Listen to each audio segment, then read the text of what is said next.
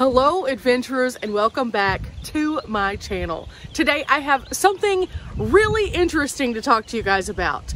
These are all the strange things that I've seen while doing van life. Now some of these things are just the average, everyday, run-of-the-mill stuff that you just might not expect whenever you start van life, but some of it you're going to want to know before you get on the road. Sometimes you'll go to wide open spaces like this and you'll say, ooh, I want to park by this tree right here. But something strange that I've seen is that once someone parks, the next person automatically feels like that's the best place to park, so they want to park right beside them. Now, sometimes they can go well, but sometimes not so much. And let me explain. Sometimes that's fine because somebody's pulling in and they don't know where they're supposed to park. And so they'll pull in beside you because they know if you're there and you haven't had to move, then they don't have to move. But then sometimes some people just don't want to feel alone. And that can lead to some like iffy situations. The strangest thing that I've ever seen is I pulled up into literally a hundred acres of open area. There were no trees, there was nothing exciting. I parked pretty far to the back. And then I understood somebody might pull in toward the back, but again, we're on like a hundred acres. They pulled up literally feet within my van. And that can be kind of a weird feeling because on one hand, you're like, okay, um, there's all this space. At the same time, you have to understand that just because there's space doesn't mean that people aren't free to park where they want because, you know, you don't own the land. So it's kind of a weird position. But then you kind of also have to think of it from a safety perspective, especially if you're traveling solo. Do you feel comfortable then? And uh, do you want to get out of your vehicle if there's a stranger next to you? Again, there's nothing you can do about it if somebody does that other than you physically moving because you don't really have the right to tell them to move. And sometimes it is just people looking for companionship, but sometimes there are more nefarious reasons for them to pull up. So knowing if you feel safe is a really big deal, but I've always thought that was kind of strange.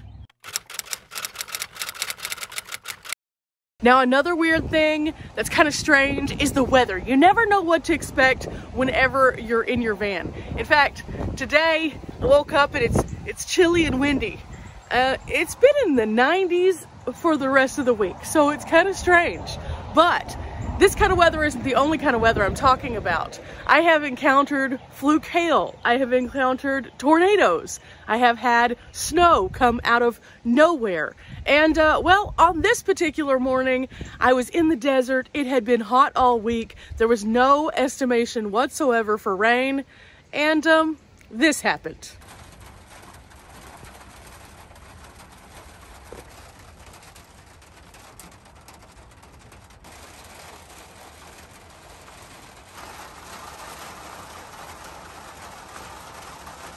It just goes to show that even if you prepare, sometimes the world around you laughs and gives you something a little strange. Now, something else strange that you might encounter that I personally have encountered are disputes around the campsites. In fact, when you're in an area like the area I'm about to show you, you're camping around a whole bunch of, in reality, strangers. So you never really know what they bring to the campsite. Now, I've seen this several times where people get into it just super randomly and it bleeds over into your campsite because you can hear it. But um, today, this one was really scary. This guy threatened the other guy with a gun.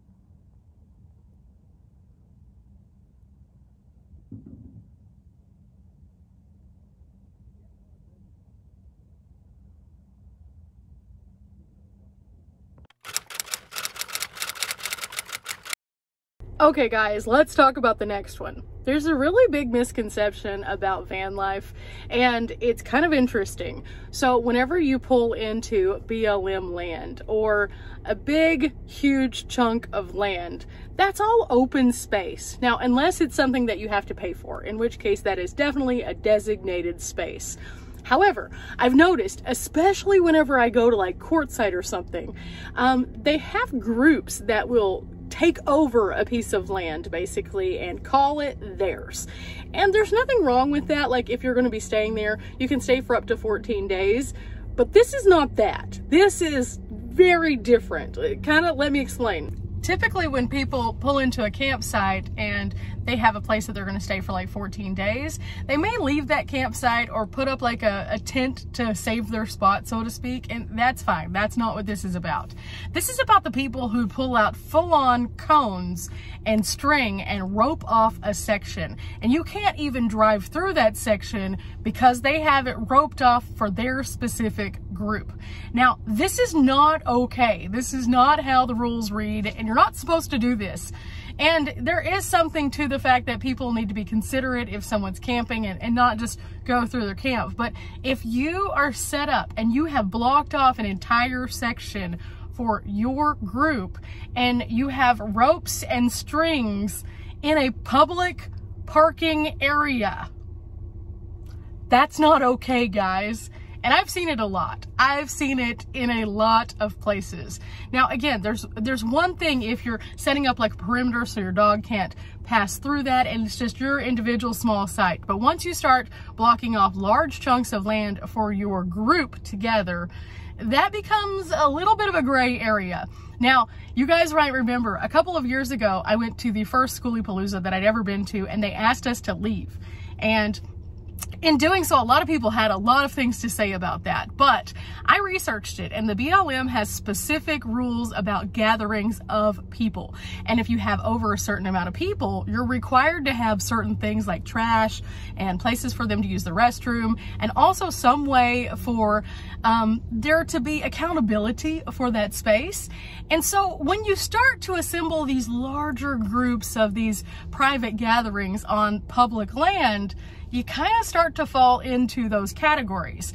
So the best way to not do that is to not block off your space. However, if you do block off your space, you're basically opening yourself up for those rules. And if you're not following those rules, that can mean a fine or just one of your neighbors getting really irritated that you blocked off a public like thoroughfare of space and um, it's going to cause some drama. And uh, again, I I've seen that a lot.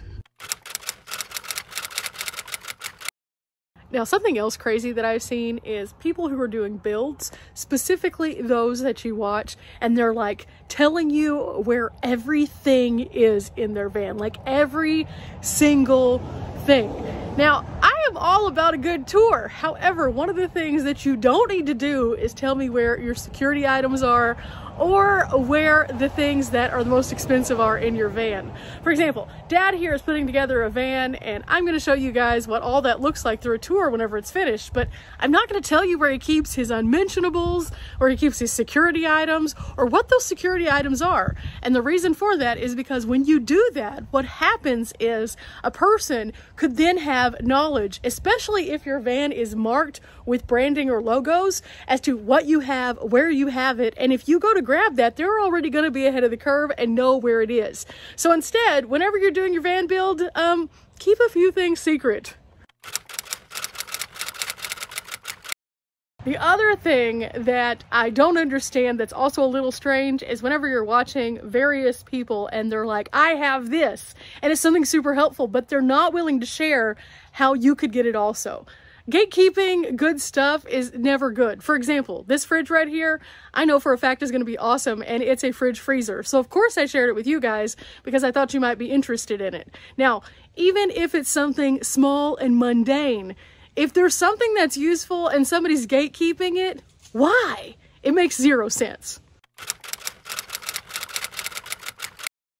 Now, something I was never expecting whenever I started van life was that when you pull into a campsite, you see all of these flags. In fact, the funniest story that I have of all of the things that I have done with my van, you, you guys know my van, it's a tiny, tiny van. I had somebody ask me if I wanted a flagpole. And I was like, where would I put it? My van is so small.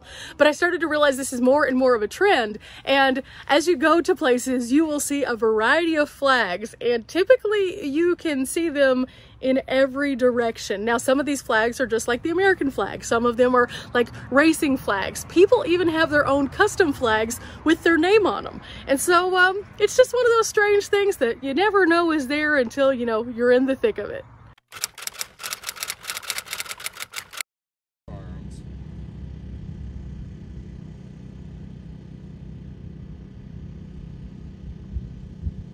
In other weird things that I've seen, right behind us there's something that it looks like it's on fire and this is more common than I ever thought it would be. I found that a lot of people will either have something that malfunctions and it causes a fire like whenever I was in Colorado I saw that someone's RV had blown up as a result of something that had happened and it set the forest on fire. There wasn't anything that I could do about it. I was just in the area so I was just kind of having to deal with it. Here, whatever's going on over here, big, huge fire too. But, you know, as I said, this isn't as uncommon as you might think. And while we were kind of going around, we also noticed this guy.